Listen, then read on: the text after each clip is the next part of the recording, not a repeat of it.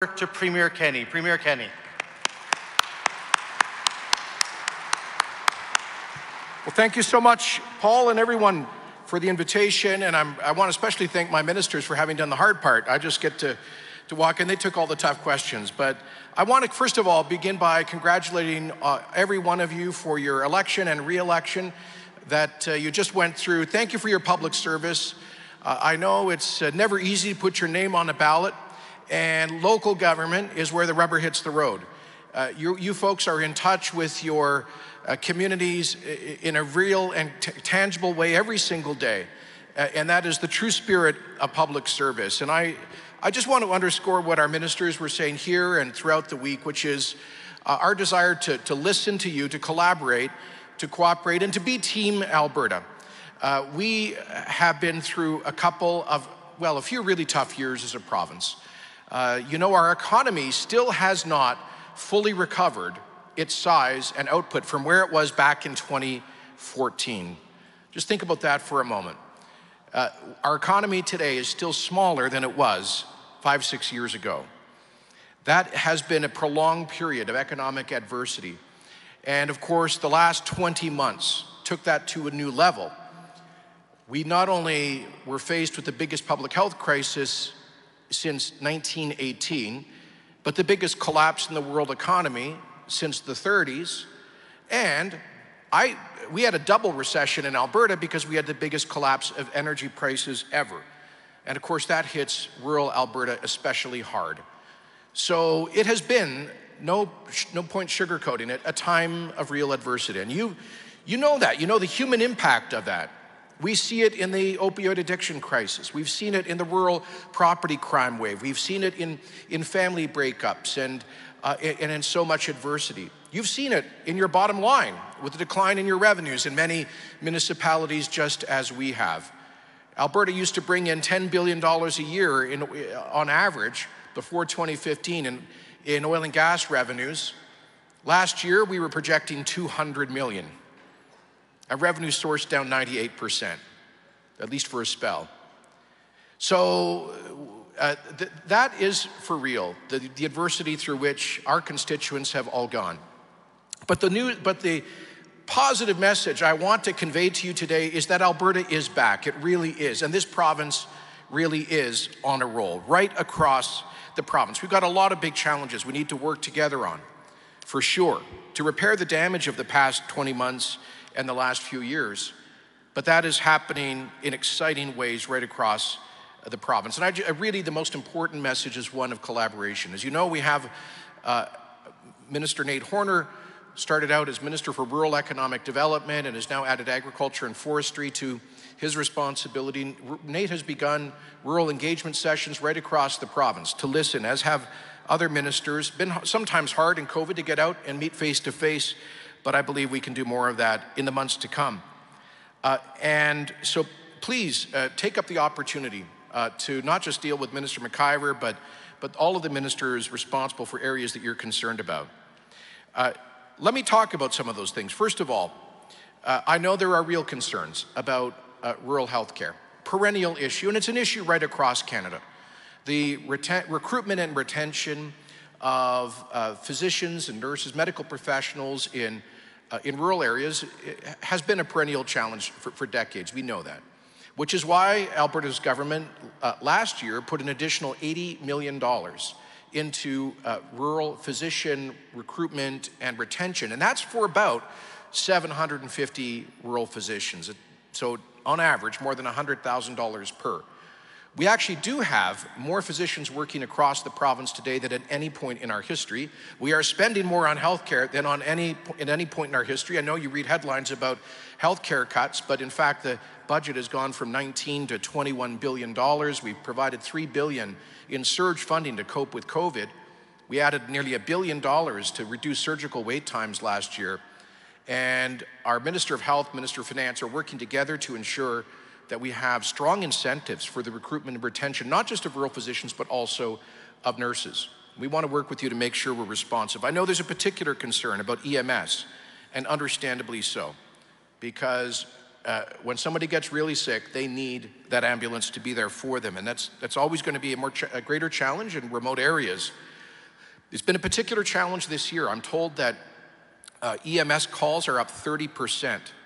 Uh, this, uh, that, that, that started this summer, a 30% increase, uh, which seems hard to understand, but I'm told that there's several factors. One, obviously, was the fourth wave of COVID, but also the big spike in opioid overdoses that we have sadly been experiencing, and just society returning to more normal levels of activity.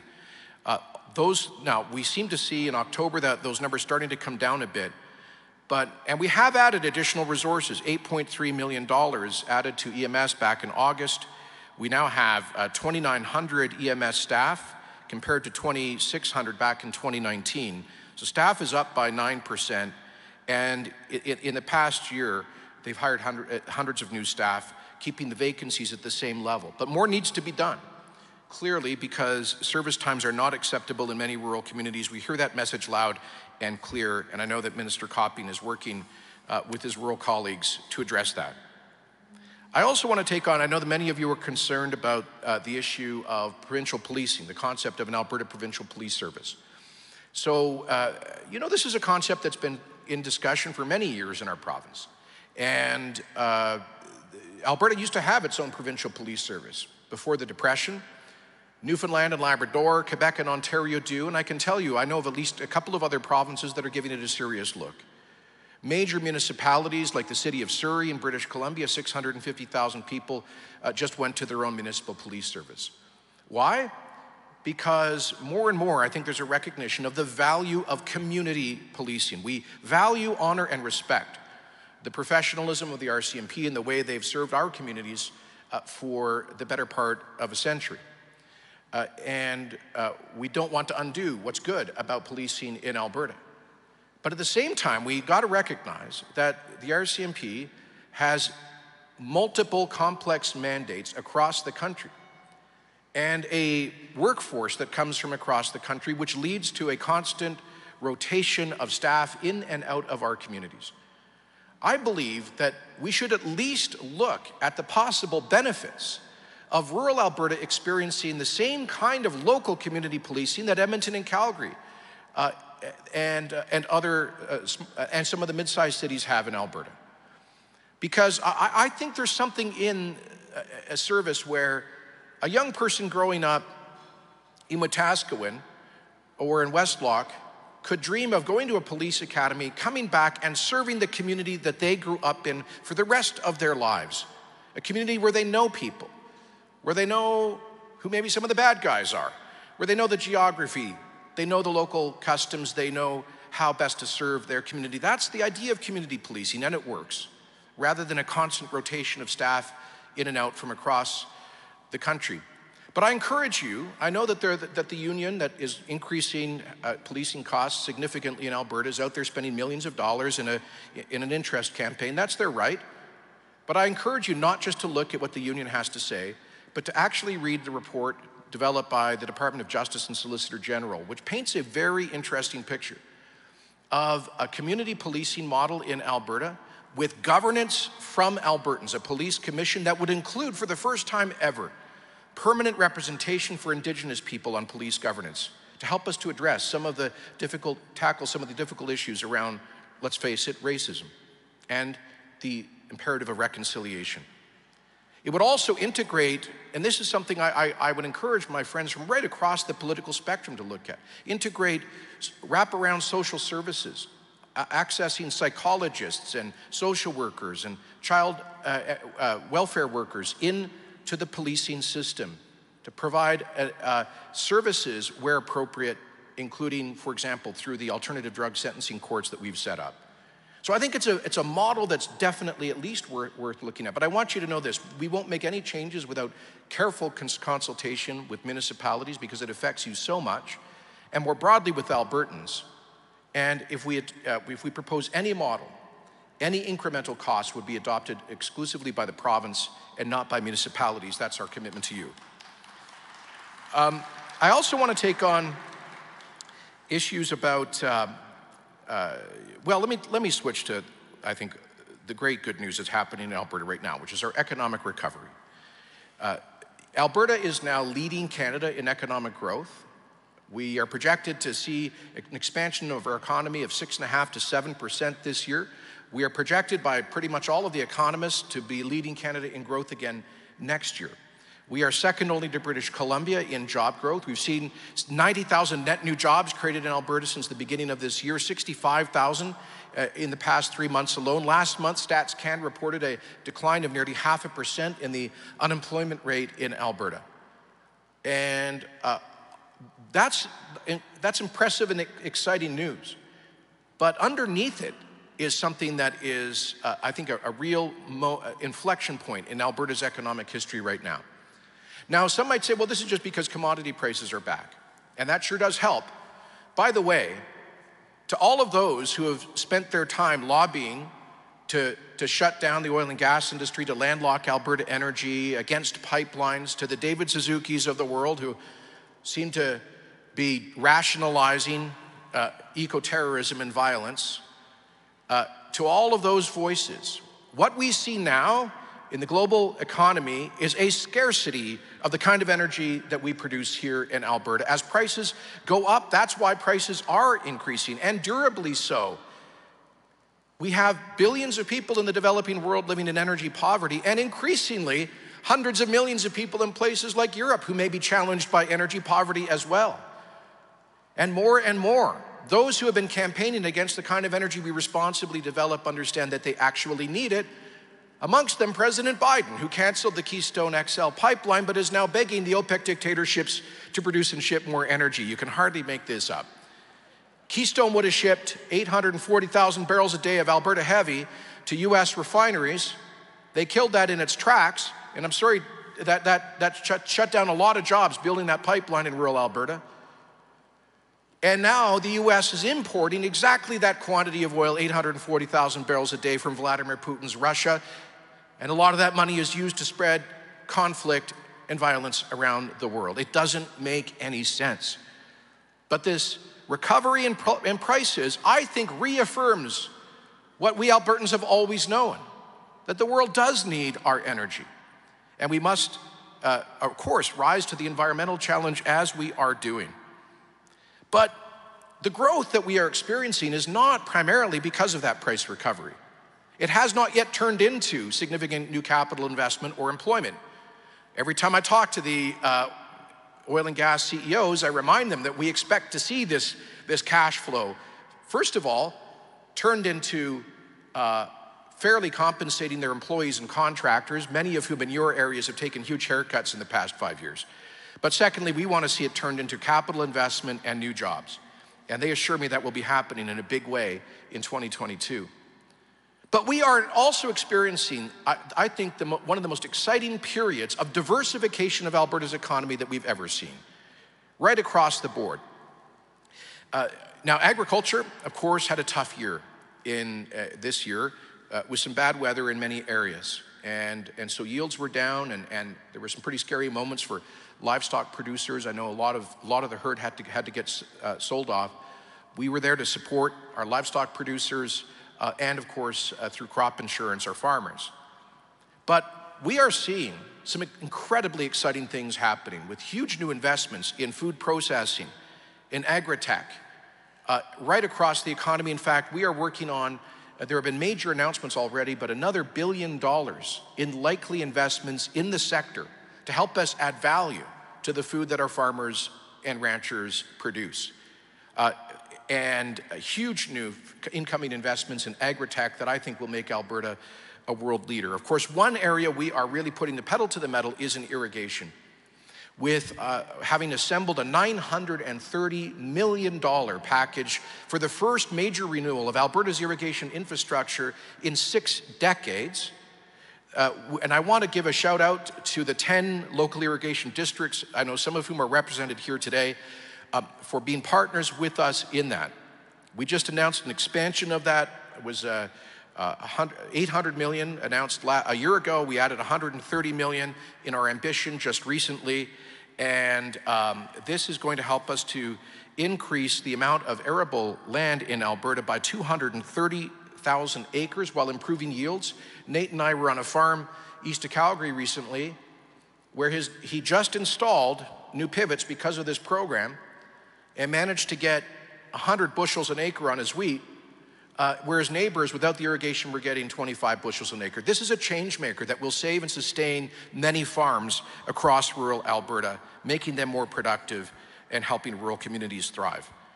That's a big deal, and uh, we are totally committed to it. Of course, uh, we see an explosion in the Alberta high tech, uh, digital, and innovation economy. This is the best year. Last year was the best year ever on record by far in venture capital, which is the jet fuel for those largely those tech and innovation startup companies. And this year we've doubled that number again. And uh, a, uh, a critical part of that, you've seen major announcements being made uh, with global companies creating thousands of jobs in the province, most recently Amazon Web Services. Uh, announcing a $4.3 billion hard capital investment. This is not like soft consulting jobs. Th th this is when it's going to be a major global center for processing data for their cloud services. Puts Alberta clearly on the global map for IT. All of that's good news, but we need to make sure that that good news reaches every corner of the province. Because we know that high speed internet holds the promise to connect rural communities to high quality services, be it education or healthcare, but also digital jobs. One thing that's coming out of COVID is a decentralization of where and how people work. I know some of your communities, like, like Nanton, are, are, are, are benefiting from that as people move to, to live in more affordable communities. And so getting 100% high speed broadband internet coverage for rural and remote communities up and down the province is a key priority for this government. It's absolutely central to Alberta's recovery plan, which is why we've already invested $150 million in our capital plan. Uh, as you heard, I think earlier this morning from Minister Glubish, that's not the begin. That's not the end. That's just the beginning to prime the pump to maximize what we can get out of the feds. When I say get out of the feds, to maximize how much of our tax dollars we get back from Ottawa, and to leverage as much investment as we can from the private telcos. Now, I know that, my, uh, that the leader of the opposition was here yesterday talking about a bright, shiny commitment in this respect. They had four years to invest in rural broadband and invented, didn't invest one red cent in it. Uh, we are committed not just to putting Alberta tax dollars in this, but making sure that the companies that actually provide the service have skin in the game, uh, and, and, and there is no one size fits all approach to this. In some cases, it's going to be uh, 5G, wireless. In other cases, it's going to be uh, hard broadband infrastructure. Uh, there are many different solutions for different communities. We want to work with you. I want to give a shout out to, to um, Jim Wood from Red Deer County. He was the first municipal leader to really put this central on my radar screen as critical to the future of the rural economy. And we are absolutely committed to getting uh, your communities at the highest possible speed of access to the global digital economy uh, in the next few years as we roll this out. I also want to address, uh, you know, we're talking about this incredible diversification. We see it happening in uh, ent entirely, well, almost new industries. One industry that really benefits rural Alberta is film and television. We're having our best year ever with the enhancement of the Alberta Film and Television Tax Credit, uh, we used to bring in about 150, 200 million dollars of production value per year. This year, we're having a billion dollar year, about an uh, about an eightfold growth in the quantum of investment in film and television. I don't. I, I uh, this this weekend after my party AGM, I, I, I went with some friends to the IMAX to see uh, Ghostbusters which is a magnificent uh, uh, shooting and cinematography down in, of course, in uh, down around uh, uh, Fort Macleod and in the Drumheller area. I, I, strongly recommend. Number one film in the world today, shot in rural Alberta. The, the Last of Us, HBO's blockbuster, the largest film or television production in Canadian history. We estimate $600 million over three seasons, about six years being shot, again, primarily in rural Alberta. Uh, th th this is a game changing industry, and companies like HBO tell us that they are here to stay. Uh, the recovery plan is also, of course, we've got, we're getting the economic fundamentals right with the job creation tax cut, the red tape reduction initiative. We've managed in, in just over two years to eliminate 120,000 Alberta government regulations, thanks in part to your input. That represents about 20% of the regulatory burden imposed by Alberta. And we've gone from an F to an A, from 10th to second place in the CFIB's red tape report card. And I'm pretty sure we're going to get an A plus. It will be uh, first out of 10 when they do their report this year. Uh, in fact, well, I, I, I, have a little bit of a preview on that, so it's going to be good news. But I, I, please help us continue to, to accelerate that red tape reduction plan as we get the best, because our goal is to become the freest and fastest moving economy in North America. But in addition to those fundamentals, we recognize we needed to be competitive with other jurisdictions on critical new industries of the future, like petrochemicals, to add value to our natural gas feedstock. And so we uh, brought in the Alberta Petrochemical Incentive Program. And you've seen several multi billion dollar announcements around that. Uh, it's not just that, that's part of our natural gas vision. It links into our hydrogen strategy. It's part of the investments Alberta's already made in carbon capture, utilization, and storage. It's also made possible by the uh, flexibility we've given municipalities to offer local property tax incentives and apply that to machinery and equipment. It's all, it also links up with our skills for jobs agenda to ensure that those companies have the workers they need to build those huge projects and to staff them permanently.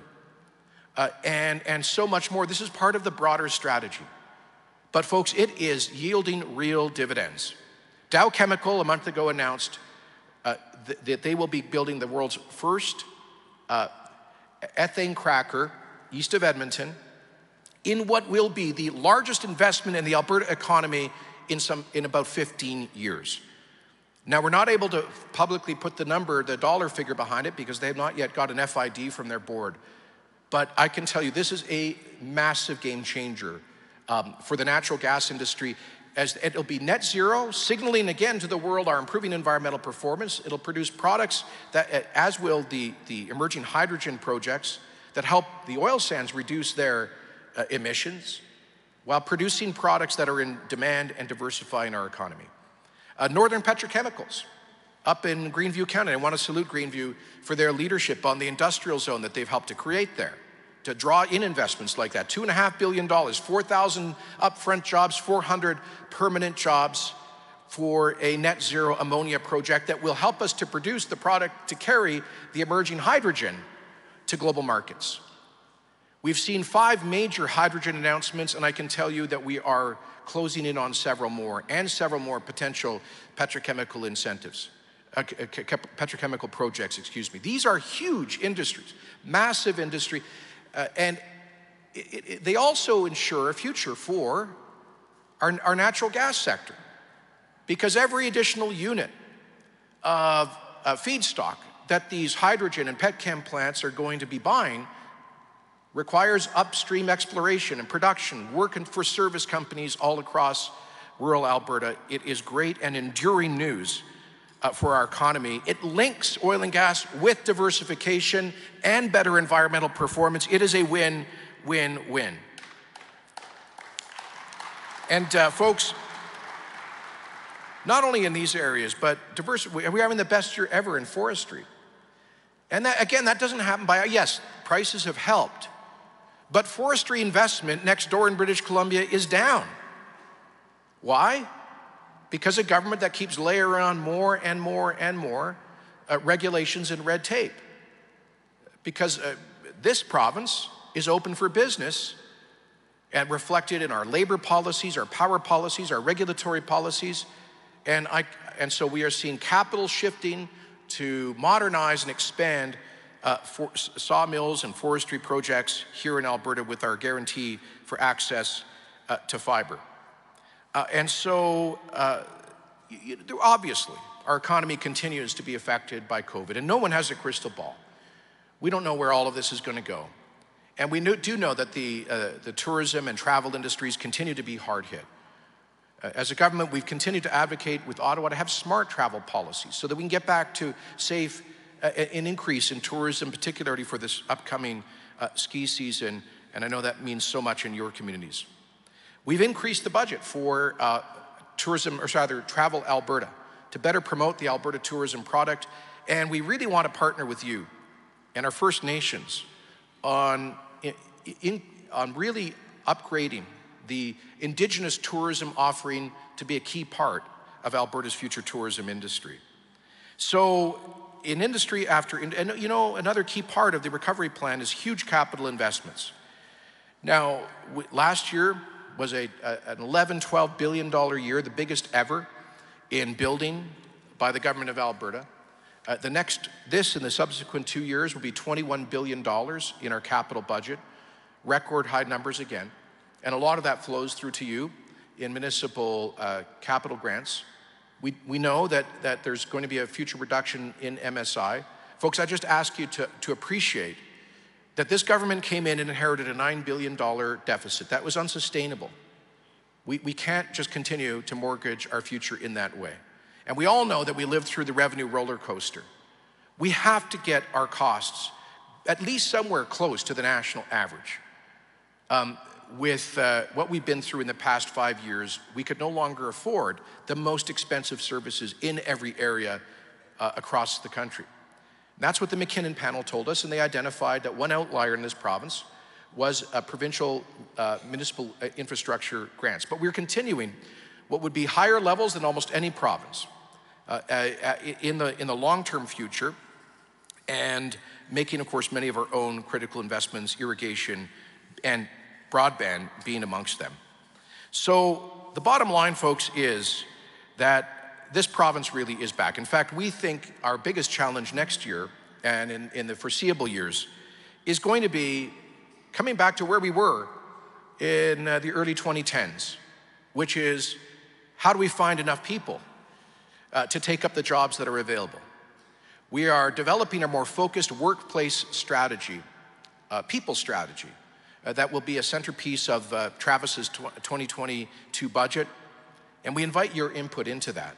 Some of the elements are uh, our jobs, our skills for jobs agenda, uh, increasing the availability of apprenticeships and trades training and vocational training in our high schools, uh, building polytechnic collegiates that can uh, put a real emphasis on that practical, experiential, technical STEM learning in the secondary school system.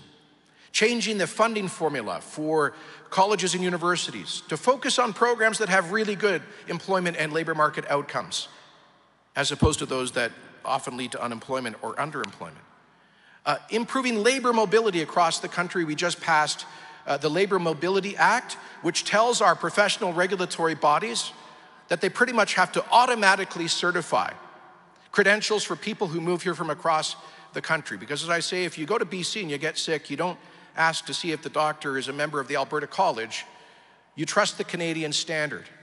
And so we need to cut that red tape that stops people from moving here or coming back uh, to Alberta. But a key part of this has to be a people strategy for rural because we know that, that one of the biggest challenges that many of you face has been population stagnation or decline. Keeping the young people in your communities, maintaining the population so that the services can be offered for schools and, and, uh, and other critical services and amenities. That's a big part. Uh, and we know that these things are all connected rural health care and education connected to population. That's why we ran on a commitment to uh, radically reform Alberta's immigrant nominee program. That's where we get to select several thousand immigrants a year. Actually, when they come with their family, it's about 18, 20,000 a year. And we have said that we are going to put the overwhelming emphasis for that program going forward on rural communities. We have 1.4 million people in Calgary, 1.1 million in Greater Edmonton. We have enough people in the big cities. In many rural communities, we don't. And we want to use immigration as a tool to renew the pioneer spirit that brought people to our rural communities in the first place. And so uh, I really want to encourage you to look at the possibilities for being leaders in the rural renewal immigration program. Uh, to, to bring hardworking, entrepreneurial newcomers to your communities. So many of our rural communities have been incredibly hospitable.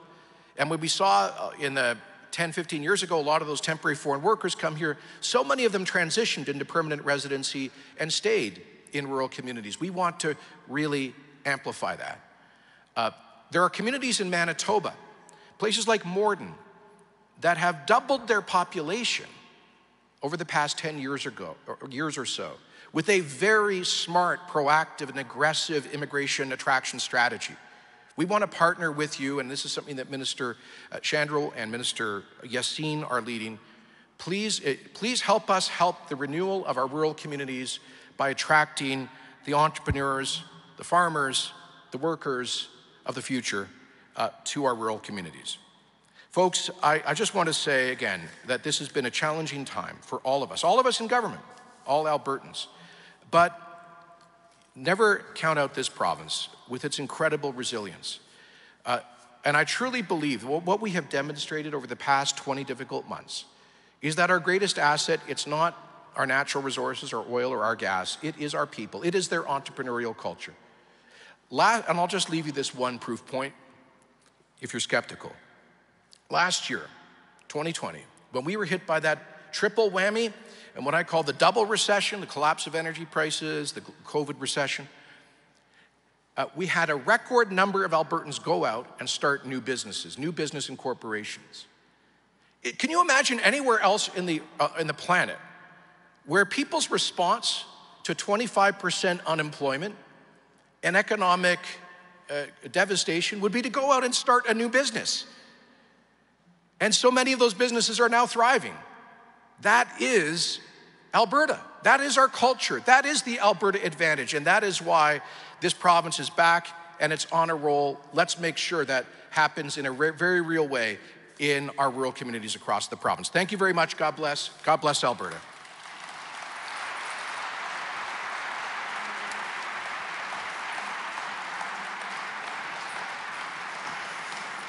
Thank you.